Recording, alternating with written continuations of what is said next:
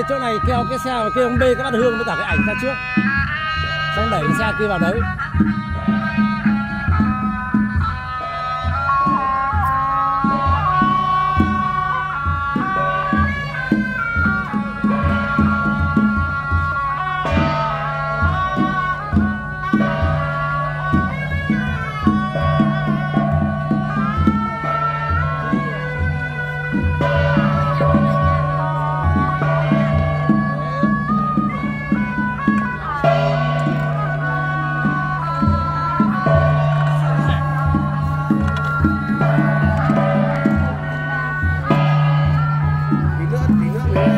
Rất hay là không bây giờ bỏ, bỏ cái ảnh với cả bát hương ra để về đi.